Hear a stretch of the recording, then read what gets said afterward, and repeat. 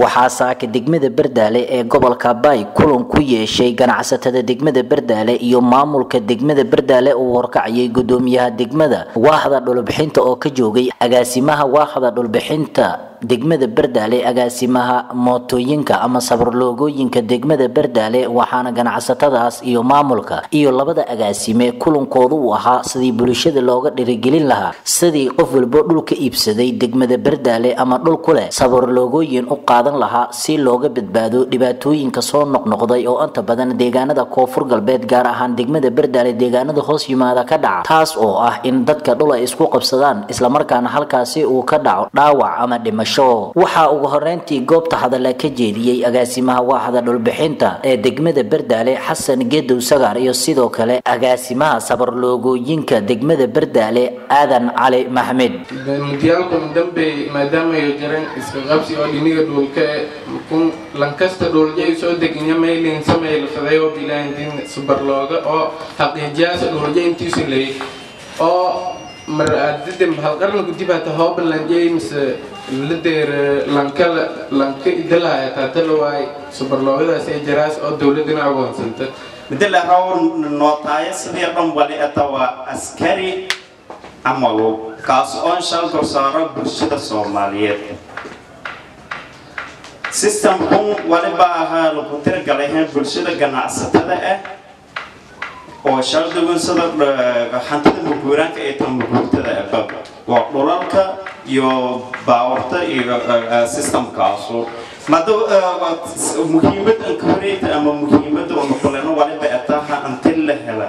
qof walba subarlooga anti usahel ama aqoonsi. Laamaha ammaanka ayaa goobta waxaa ka joogay taliyaha saldhigga degmada bardaale waxaana mar uu goobtaasi ka hadlayay ku dhiirigeliyey guud ahaanba shacabka in ay u hogaansamaan amarka dowladda islamarkaana ay qaataan sidii guud ahaanba. Qof walbo dhulkii degan sabar looga looga samayn lahaa.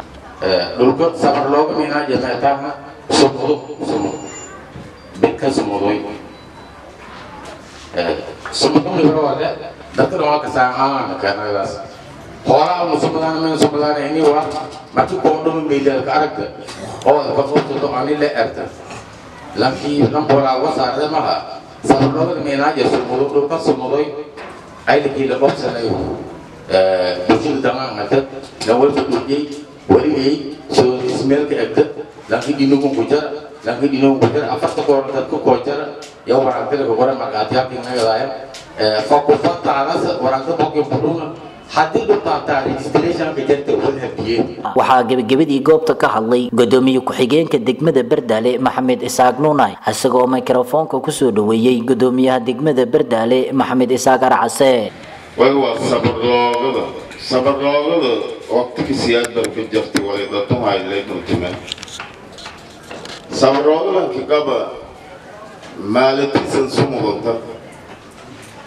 walkastaba la sumuda maalata la sumuda hoolaa la sumuda baawurka la sumuda taargaga walalanka dejiyow sumuda le mootada taargisha meego yeelay sumadaasaka rawle antelaneskasaadi koonfur galbeed madaxweyniya agweyne antelanesaadiyaa go'aamado laha saari degmadu leyma ah koonfur galbeed dhonantida geysiyada fadaha aan hogaansantaan aan hogaansantaan muddadii laha gobol dhan walyaraadhimo waysin koodsadaan ani aan hogaansantaan si on aan ka hogaansanay guudahaan koonfur galbeed wali go'aanka deerta in dhulin iska dil sharciga dowladda ah kubahay madaxweynaha ayaa hogaamiye waana saxiixi. Wasaaradda arrimaha gudaha ayaa wali magacaawtay siyad degmo oo kumida koonfur galbeed. Siyadkaas degma lankasta waaxda dhulka inoo tahay la magacaaway degmooyinkii lahaa magacaawaya ka jarna oo dhulkaas in ku bilaawa sharciga dhulka in la sax wali lama qiibadan shalbaha qiibtay sagaali kowtii walaay higa ku jari lanka sabar looga gabo. Way ahaan wali usboonaysiye kibaaba inayn bilaawaneen hadda dowladda koonfur galbeed. Iyo sabar looga suubiyaas dhulka lan sharci yahay isqabqabsi badan dhulka khaasatan koonfur galbeed dhibaatooyinkii dhulka hayta iyo soomaaliya lagaba laakiin koonfur galbeed dhulka hayta madi la aragay dhibaatadii dhulka dareera waaytay sharcigu wali hasaaray madaxweynaha dowlad goboleedka koonfur galbeed madax cabdicasiis xasan maxamed lafta gareen wasaaradda arrimaha gudaha yalla amari waleeray hal sharciga dhul waa la gabo dhulkadu lama qiibadoo shalbahaan qiibata kana dila degayu sabarloogana kulley hobarkala sumadaaw maamalas galow intay loo jari inta jarti inta cabirkay ka kaay inta sahayd intaasba khilaaf diidan yalan suubi. Maadaama dhulkoo hatuwaaba doojayba dhimiya jaray walaagiba dowladda lahaaytay dhul dowladda lahaay taas dhimay madaxweynaha wali magacaabay guddi la socodka dhulka leerow taase degmooyinka dhan seeda doona seerla waala laakiin dhul dowlad deganaay intuu ah korsadii walan sharci ahay mise walkul wareega taas walna dhiman wala siin ku codsadaana in la shaqeeyo madaxweynaha wali iyo wasiirka arrimaha gudaha lamaadiyoba lixdan beri gudaantiisa degdegsan yahay halan qaado taas degmooyin kale wala ku bilaawdeen wala hata kudhaha jiraan laakiin wali fadaane maadaama berdaala hayti degmooyinkii markii dambooyay dowladda kacaanka magacaawday siyadii siyadkii magacaaway. In hanuun soo looga badan qabaan maka arow.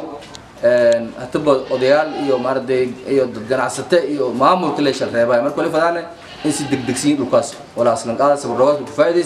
Deegaanada hoos yimaada degmada berdaale ayaa inta badan waxyaabaha ka dhaca. Markii la eego dhinaca dhululka waa dhibaatooyin muddo soo noqnoqday taas oo mararka qaarkoodba dagaalo sokeeya ka dhasho. Bulshadana dhibaatooyin aada u baahsan ka soo gaadha. Maamulka degmada berdaale gobolka baay ayaa guntigiisa u xidhay guud ahaanba bulshada in la baro nidaamka dowladnimo xasan cali daawud xasan sheelare tv-ga caalamiga star t v degmada berdaale gobolka baay